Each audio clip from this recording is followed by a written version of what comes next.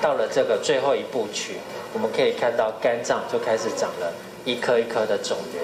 一点一滴清洗肝脏，肝癌来的无声无息。由于初期几乎毫无症状，因此不易被察觉，还被称作“沉默的杀手”。所以，即便三部曲走完，走到了肝硬化或者是像肝肿瘤都长了东西的病患，也都还没有明确的感觉。应该一般的人都是对于这种不容易。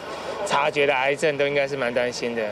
根据卫福部统计，肝癌高居国人十大癌症死因的第二位，一百一十一年就夺走了七千七百八十一条性命，包括香港影星吴孟达、资深艺人蔡头、前中华职棒兄弟象总教练王光辉，都曾因为肝癌夺命。研究是到了差不多五年，其实就有一定比例的患者，他就有复发的风险，有固定的去把这个病毒给压抑到。完全测不到的这个水准，都很有机会可以降低这个肝癌发生率。在亚洲，肝癌的主要原因大多是罹患 B 型、C 型肝炎，另外长期喝酒引发酒精性肝炎、有肝硬化以及肝癌家族史的人也是高风险族群。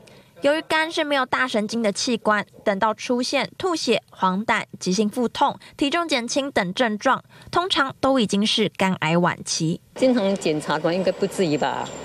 应该可以找地方。如果除非是那些爱喝酒的人，那就没有办法。当你知道自己有慢性肝炎，不管你是 B 肝或者 C 肝，都应该要定时的做检查。我们建议是起码每半年就要做一次这固定的追踪。如果本身就是高风险族群，务必定期追踪治疗，包括抽血检验肝功能，还要搭配超音波检查肝脏外观，才能早期发现、提早治疗。欢迎新闻陈世雄、邱子玲台北报道。